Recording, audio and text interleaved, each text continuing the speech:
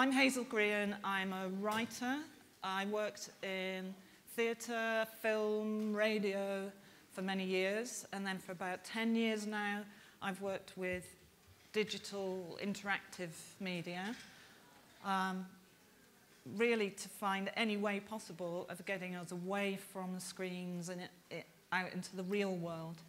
So I've worked with games, apps, um, robots, I've worked with smell, I work with all kinds of performance and any, any kind of medium that I can find, mix that with the kind of magic of new technology to create meaningful experiences for us, but getting us away from being stuck to a screen.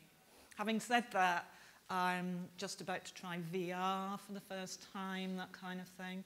But it's all a journey towards something. So um, what I'm going to talk to you about today is this whole day is about play. And I want to talk to you about collaboration and creativity and how, in our case with this project I'm talking to you about and how I very often work is how artists and engineers can actually work together and have a good time. Um, very different backgrounds, very different approaches very often. Um, sh show of hands, who considers themselves to be a creative type person? Can you put your hands up? Quite a lot of you, not all of you. And who would you generally say more like an engineer or a computer scientist or something like that? A few of you. Well, I'm here to tell you that you can be both, okay? So um, I've called it How We Build a Robot. Um, I'm referring to a program that was on Channel 4 uh, just last Christmas. Uh, it was a, a, documentary film of a project um, that we made in Bristol, which is where I'm from. And um, the, the film followed us over a really short period, about three months, making a robot, which is a ridiculously short amount of time, as those of you probably know or imagine. Instead of years, we did it in months with a big team of about 15 people, all very different disciplines all coming together. to do this kind of sprint run. How can we make a robot? But not just any robot, but a robot that is friendly, that is huggable. So it was about tactile. We were trying to get around this idea of robots being these kind of stiff, humanoid type things, but more about a kind of tactile um, experience, how to explore that. What we really were doing was thinking of it in terms of an animation character rather than an engineering project. So if you think about that, it's more like a Pixar character than a functional kind of machine. It's much more about that, and that's where I come in. So what I always bring to any of the projects is story and character and humour. So that's what we were aiming to do with this little robot. Um, I come from Bristol, from the Pervasive Media Studio. I don't know if you know it, have visited it already. Um, this is a panoramic shot of the type of space it is, kind of similar to the space we're in now. It's a permanent place. We're just about to celebrate our 10-year anniversary this coming weekend. Um, people come and go. I've been there since the beginning. I don't know, I'm going have some kind of honorary membership, one of the older ones. Um, it's a mixture of creative people and technologists and academics. We've got um, a department from the University of West of England in there as well. What it's all about is collaboration and community. Um, people have their own projects. Some people are small businesses. Um, but it's about working together, serving each other. Um, we have lots of events and the idea is that you get it for free. You don't have to pay for your desk. You don't have to pay for the team of producers that are there, for the admin, for all of that. All the space is free. What you do have to do is give back something to share.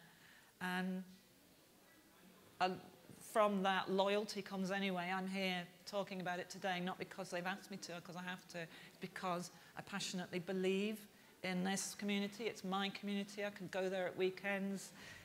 And that's what's important. So if you do want to make a great project, it is about the space, like the space you're in now. So the Pervasive Media Studio is based in a bigger centre in the centre of Bristol.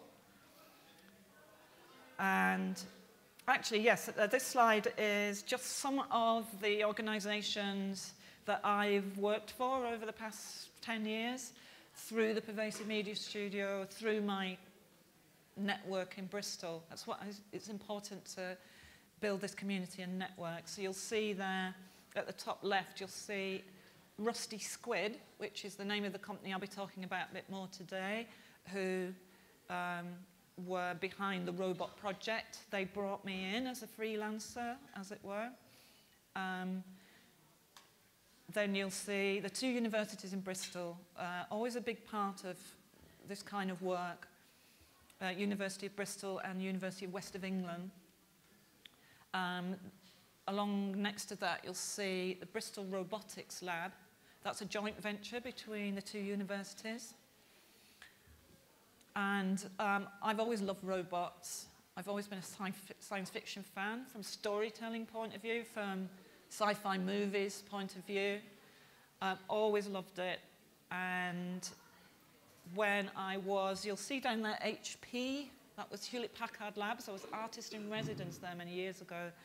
They were next door to the robot labs, so I, I just got to go. I just knocked on the door and said, can I come in? I love robots and they let me in and I've been sort of collaborating with them on and off for, for many years. Um, they need storytellers. Most of them are engineers. And then you'll see um, theatre companies that I worked for for many years. So I was a performer, an actor, comedian for many years. I shouldn't say comedian because now you might expect me to be funny at some point. Um, then we've got an, other media centres in the Bristol area. We've got the BBC R&D, which are up in Salford. We've got Aardman Animation, I work for them. For quite a long time um, in their digital department. And Channel 4, of course, National Youth Theatre, Tate Gallery, I've done apps for them, Warner Brothers, Paramount, and the Science Museum down here, you'll see. So that's the Science Museum in London, um, and the Science Museum in Bristol. And then you'll see across there, we've got the, Avon and Somerset Constabulary, I'm doing a project with the police. And then you've got various funders that, uh, like the local council, Creative England, European Union. I feel sad even just looking at the logo uh, ahead of times. So, and Arts and Humanities Research Council. So what I'm saying is that all of these kinds of organisations I've had to go to and build up my relationship with over the years with help from the community that I'm in. And this is how you get to make things like a robot with lots of interesting people. So, yes, so this is where the studio is, is based, um, in lovely Bristol. So you'll see up there, we're down by the harbour side. It's in a centre called Watershed, which is a cinema, multi-screen cinema, um, cafe bar, and we've just opened the Bristol VR Lab, which is like a sister hub to the Pervasive Media Studio, which it currently has in it small virtual reality companies.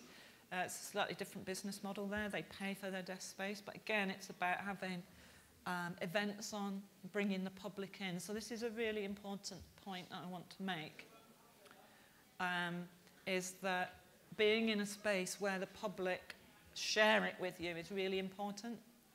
One of the problems with universities, although they're brilliant places to work with as an outsider, as an artist, because you've got expertise and resources, and once you get through the doors, you've got passionate people who really want to work with you.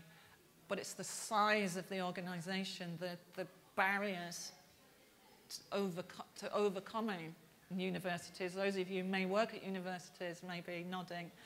The, the, the, the different departments are completely locked off and it's really difficult to do anything between departments. I don't know if you found that yourselves, you want to just do something over there and you, you can't because of the, the kind of the administration of it is really locked down. That's frustrating and doesn't reflect the outside world. What's um, great about other spaces is that the public come and go in and out. It's much more of a conversation with the rest of the world. It's not so much of a bubble. Do visit us anytime you like. You can um, look me up and come and see me, and I'll show you around. Um, so we're getting to the robot. We are getting to the robot. These are the kind of individuals, the type of people that I often work with. Digital agencies have been a big part of my um, career so far. They're advertising agencies, essentially. They tend to make websites, but they try and be more and more creative. And um, digital agency directors, creative directors, academics, researchers, chefs, technologists, actors, all that whole list is a complete, um, in no particular order, it's a complete mixture of people who are doing interesting things, who are passionate about what they do, and being in a place like this one, and being the kind of curious person that you undoubtedly are because you're here, you just need to approach people and say, Would you be interested in doing this? And before you know it, you're doing something extraordinary and new. So, you know, we work with, with chefs. Uh, experimenting with, with food, food technology, and then it comes into working with smell and taste. And, and then moving on to the, the robot project, we had computer scientists, designers, engineers, puppeteers, dancers, performers, writer, that was me. I was a performer as well. Um, all different kinds of people all coming together to make this different kind of robot. So, why we built a robot, this is one of the reasons that is why we built this kind of robot. The idea was that it would be autonomous, um, so it's an artificial intelligence, and that when it worked properly, that it would be able to be left in the street. It would be recording through a camera in its, one of its eyes. It was carrying a microphone, so it could see and hear, and it could respond to, could speak, and it moves around as well. I'll show you a film clips in a minute. So that it can answer people's questions it can ask questions. It can answer by making statements about what it wants. And it can ask people questions. And this is part of writing AI. If any of you are interested in writing artificial intelligence or chatbots, which is simplest form, it's a bit like theatre in that you, you make simple suggestions and people fill in the rest with their imagination. So you, your robot, your AI, your chatbot doesn't have to be able to completely understand everything that's being said, but it can, if it hears a question or it can hear a statement, it can say, oh, huh, carry on, tell me more, that kind of thing. And it feels like it's listening to you. So being listened to is a really important part, It makes us feel good as robots. Um, the Children responded to it fantastically. As you can see, this is genuine. They, they, they, you know, they, you can see this little girl here. She's explaining what love is, I think. She seems to be touching her heart. Uh, the questions we designed for it to ask was about what does love feel like? What, what does it, do you recommend being a human? You know, what's, what's it all about? And children particularly were just really thoughtful and caring and amazing as they can be. Um, so let me just see if I can... Hello, hello.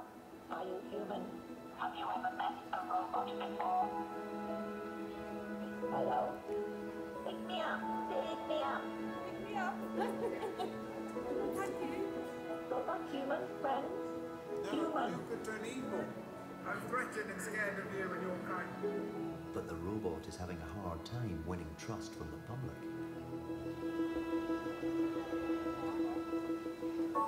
What's your name?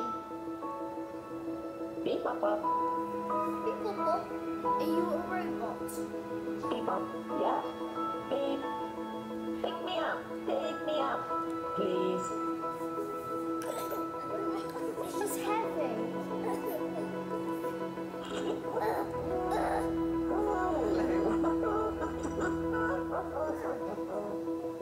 Should I tell you the difference between humans and machines? yes. Beep. The, the difference between humans and, and machines are humans have feelings, machines don't, okay? Beep up. Can you tell me something you've never told anyone before? Whisper it in my ear if you're shy. No need to whisper. I am proud for who I am. Beep up. I just sound like I'm a hardworking person at school, which I am, but sometimes I kind of slack off when I'm at home. Beep up up. How do you know? Beep up. Because I can tell when I'm always sitting on the couch, I never, I never get off the couch. I just sleep, sleep, sleep. I sleep through my alarms all the time. Would you recommend being human? Mm, yeah, because you learn stuff, you learn from your mistakes. It's fun, you make friends. Sometimes you can make enemies, but soon they can become allies. Hello, robot. Friend? Friends. Okay. Should we hug? Pick me up. Beep. oh my god. Oh my days. Can I give you a kiss? Yes. Beep up. Beep up. Friend? Robot human? Friend? Beep up up. Oh, is it talking to the bollard? It's found another robot. Friend? Look, Mum. Look. Hello. Hi. Have you ever met a robot before? No. Have you ever been to space up there? Not sure. Oh, thought you from space. Hey, want to have the cake? They've got chocolate on them. I want to whisper something. What? Who made you? Well, we nobody made us. We was we started off as fish, and then we came on land, walked on our flippers, and we glowed all these legs and these hands and these hands and these fingers and these toes. Thank you. Take me with you. We're friends.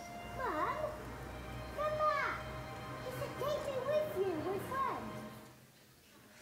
Beautiful, beautiful.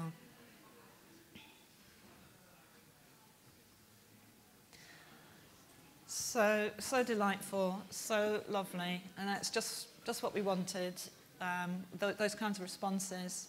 Um, the, uh, there, were, there were issues, obviously, with the building of the robot in such a quick amount of time. It was heavier than we wanted. It wasn't as cuddly as we wanted. You, you can tell that um, it's had to have a kind of plastic base. It had loads of gubbins that was in there that was fairly heavy. Um, we, um, when it rains, it had a little plastic mac on, which is adorable. There are some lots of photos online that you'll be able to see.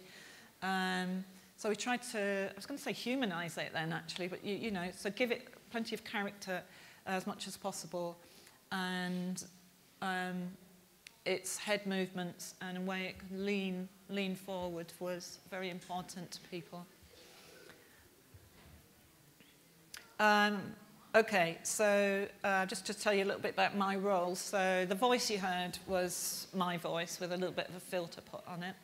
Um, I wrote everything that it said because um, I have a, this background now with writing chatbots, AI, and um, being able to think about every single um, uh, different possibility of what um, people might ask it or say to it or what, what it needs to be able to respond in terms of verbal feedback and verbal questions and how, as I was just saying, how you can get around um, that sort of feeling that it's not listening or it's saying the wrong thing.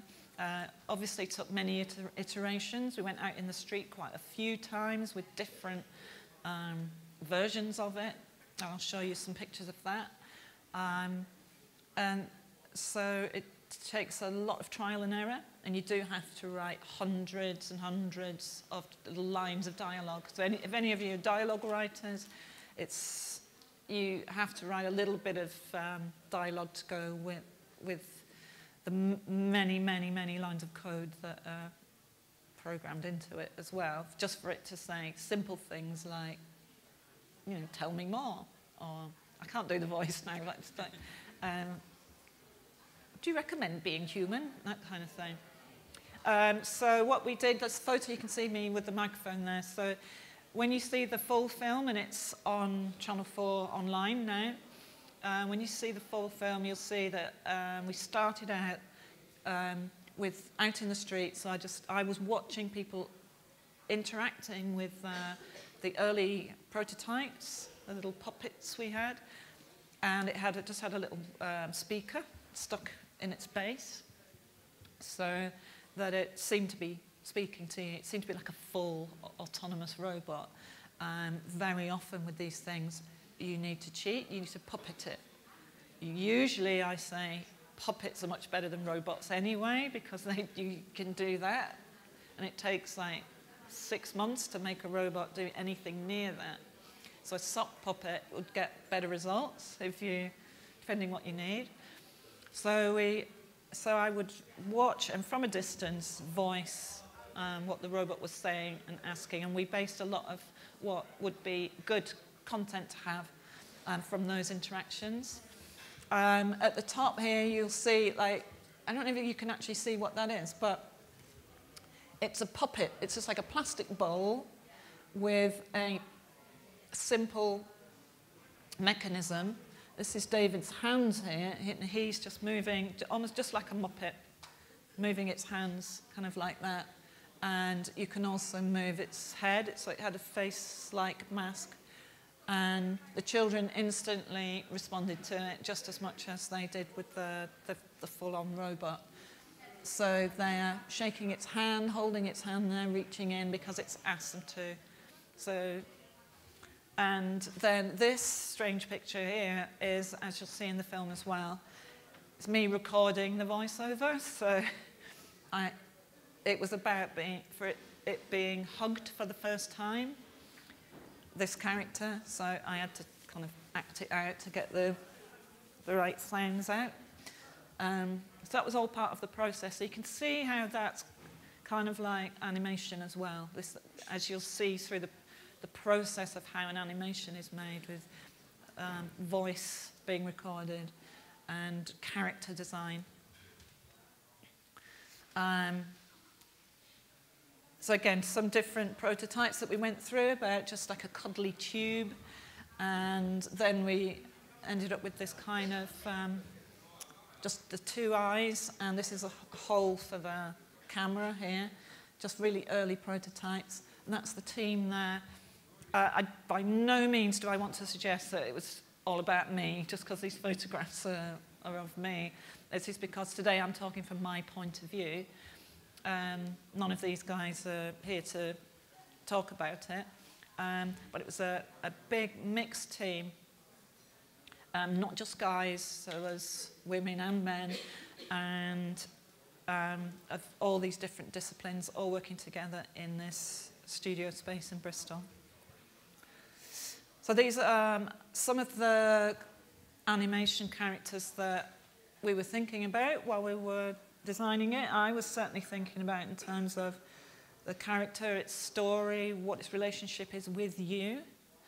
Because in, in these kinds of narratives, it's you, you are in place of the camera, you know what I mean? It's about, it's more like game design in that, rather than film design. Um, WALL-E, of course, um, just heartbreakingly um, lonely, but just getting on with his own little thing, doing his thing, um, which was what our robot was like. It was kind of there to find out what this human life was all about. Um, E.T. and Elliot here, of course, it's about that is it symbiotic relationship between between E.T. and Elliot. They almost merged as one. They were one of each other, and of course, E.T. needed to get home, and Elliot needed to help E.T. And, then we've got Big Hero 6 there, mainly because of it just being so squishy and inflatable and cuddly. We tried inflatable ones. Um, it wasn't quite practical, but you can see film of that as well, which I'll show you in a minute. So, yeah, what I'm wanting to say is this is another still from that, but it's we are the public too, okay? So we're the audience, we're the public. Don't try and make something without thinking about your place in the world and the community that you're in, because that is how you will make something important and meaningful rather than just keeping your head down. You've got all these resources of all these other people around you in this room, in this building, in this university, in the city. Um, many of you may also already be working collaboratively online globally. I'm sure you are. I'm sure you, I don't need to tell you this. But always think about the audience when you're making something. Okay, so um, I'm going to show you another little film now. So the person you see there is David McGoran. He um, was the head of this project. He was trained as a dancer. He's trained as a dancer, then he retrained as a robotics engineer. He's now a robot designer and animatronic designer heads up this team in Bristol, which I joined for this project, and we worked together on various things. He's also a Canadian, he asked me to tell you. Um, so um, the Channel 4 film was for a Channel 4 audience, for a broad audience, about the story of um, David, this guy um, wanting to make this robot. It's about loneliness and was it about his own loneliness and all that kind of thing. What he then wanted to make was something about the making, the design process of how you build this kind of robot. So okay. Okay, so yeah, we started with balls, with cardboard boxes, all kinds of materials. Um, squishy, squashy, floaty, Um, this is the inflatable one that one of our team built. I think that was actually my favourite. So then it's about, like it says at the side, then we add motion. How will it, could it move around? It would have to stay on the spot. We couldn't really, in time, make a robot that could walk.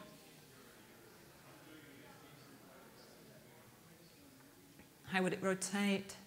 So this is a little, very sweet little puppet that we made as one that we tried out on the children in the street. Then there's wriggling.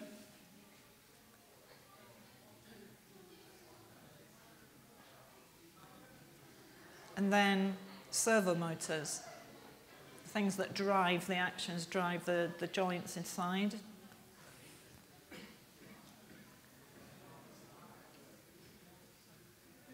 Plenty of those. And those, those control things are, are, are what are built in-house to, to sort of puppet the robot, if that makes a sense. So again, you can see how complex it's starting to be. And there we go, it's starting to come together. These are all the things that the robots are able to do now. You see, it really looks like it's looking. I love those little dungarees. So we decided we'd have a button on the front. We tried all kinds of things, how you invite conversation and get people's um, permission. These are all the different kinds of abilities it has. So it had touch sensors in it, in its head, where you would stroke its head. That's one of it way. And then one of the things we designed in deliberately, really, was for it to fall over so that it needed help. And of course, we employed artists and illustrators all through the process to help us visualize it this is an example of the kinds of uh, design process. Though you can see inside the, um, the amount of wiring, but it is doing its own thing there.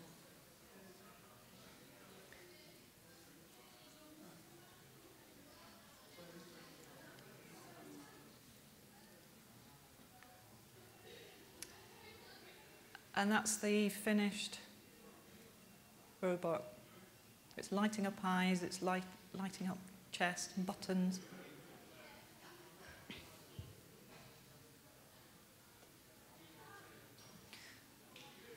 So just while we watch that, I did I I work with a lot of character designers a lot. Um, for instance, at Aardman, at, on this project, on lots of projects, very often, as with just the way that everyone thinks, the default character is gendered and it's male. Everyone always refers to everything, if they're not sure, as he. He wants me to go with him, pick him up. It's, so it's always referred to as a he. And I just make it my thing. I try and try and try to change that default mode from either to an it or to a she, but without taking a robot and saying sticking a pink bow on its head, which is usually what's done to make things female rather than male. Uh, I don't like that either. Um, so as you can see, it's a cultural thing and it's still very, very difficult to stop people referring to everything as a he because we're so used to um, the default character for human or robot being he without it being overtly a certain kind of feminine. Um, I just wanted to, you know, plant that in your mind that it was something I would bang on about almost every day, always have to um, with, with designers of any kind, were left to it, they would generally just create a male character. Aardman Animations, when I was there, we were told that no female central characters because they don't sell. I'll leave that thought with you. So, um, that's, that's my final slide. Um, this uh, you'll see here the uh, subtitle. So this guy in Bristol said, uh, asked the robot it wanted some chicken curry. He said, you're too sensitive, mate. You're too sensitive, mate. Yeah, do you want some chicken curry? Um, so, yeah, you can. You, the the film is now on all four again, so um, you can see it as soon as you want to. So go to Channel 4 online, all four, see the whole program. that's an hour long. As you may have noticed, David Tennant's narrating it. It was directed by James Newton. Um, and uh, any of the, the other films, Rusty Squid have got their own YouTube channel and their own website if you want to investigate that. Pervasive Media Studio websites, and you can find me, best place to find me daily is on Twitter.